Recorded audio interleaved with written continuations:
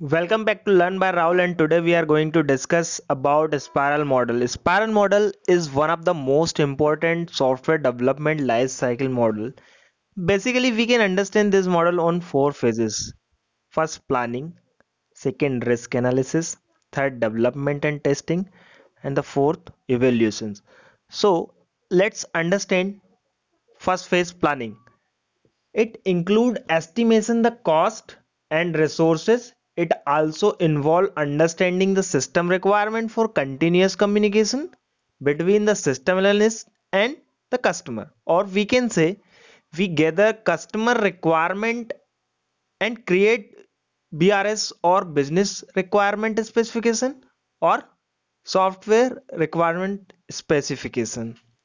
Then we move on risk analysis second phase so during the second phase, all the possible solutions are evaluated to select the best possible sol solutions. Then the risk associated with that solution is identified and the risks are resolved using the best possible strategy. At the end of this phase, prototype is built for the best possible solutions. So prototype or design is a dummy model which is functionally not stable. Then we move on development and testing.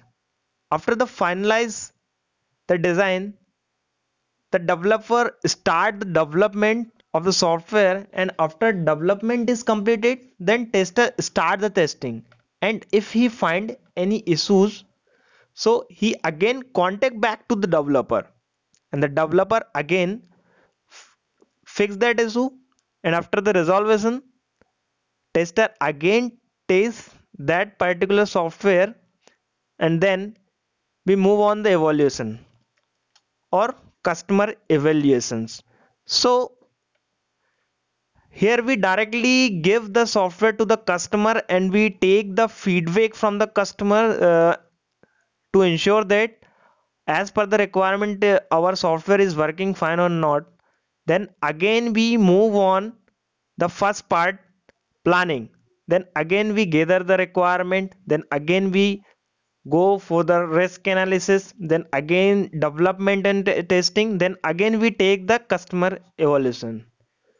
So we again repeat all phases till customer it is not satisfied. Okay? So it is also called iterative and incremental model. Why? Because we can see we repeat all phases again and again. We gather requirement then development testing evaluation. So that's why we call it incremental model as well. So let's move on. Advantages of spiral model. The first is best approach for testing and development for complex and large project. Okay the second is cost effective, better risk analysis and management. Third, better requirement analysis, fast and easy development. Fourth, easy to change requirement and documentation if any change happens in the middle of the development. And the last, better time management. Then we move on the disadvantages of spiral model. The first one is difficult to follow strategy for a small project not much useful for low risk projects.